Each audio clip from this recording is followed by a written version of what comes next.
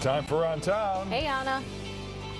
Good morning. The artist featured in this gallery was drawing at age 71. That's when Joseph Yoakum picked it up after retirement and said, I'm just going to start drawing in my apartment in Avondale Park here in Chicago. And now he's in the Art Institute. Mark Pascale is here with me. Good morning, Mark. Good morning. Thanks for coming. What gave him that it factor that, you know, landed him here and at the Whitney?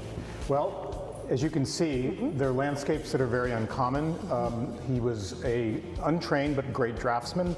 He was very conscious of shape and form, and his line work was incredibly beautiful and, and sinuous. This is made on uh, on what kind of paper and He- with what tools? He drew largely in, uh, with ballpoint pens and pencils, then colored pencils and chalks, sometimes felt tip pens, but very early on, he drew on uh, children's paper, manila paper, or newsprint. You can see in this drawing down here. yeah, this totally you can tell that it's Manila paper. Exactly. Mark, And- he claimed to have traveled the world, but we, you know, we can kind of neither confirm nor deny.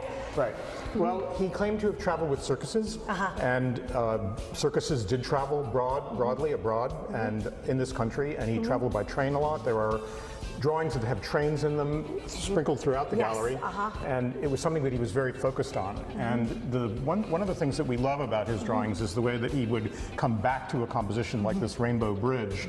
This one in beautiful color, and right behind you is one that's on white paper in ballpoint pen, so it's a kind of skeletal version of it. And you see his writing here too. Why would he write on the on the work of art?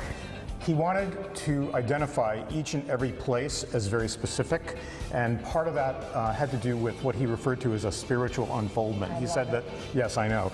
Uh, love it. he referred to his process as spiritual unfoldment. He would make the drawing, remember where it was, and then draw, and then write the specific location where it was. And usually, the location, I mean, all of the locations are real. I've checked every single one of the drawings in the Art Institute. They are actual places on, on an atlas on, on the earth. He sometimes spelled them phonetically, and so there's Yeah. some kind of eccentric, uh, funny spellings about them, but he knew what it was. Wonderful. Guys, that's around town from the Art Institute today. Come check out all this wonderful art that we're lucky enough to have here in Chicago. Have a great weekend.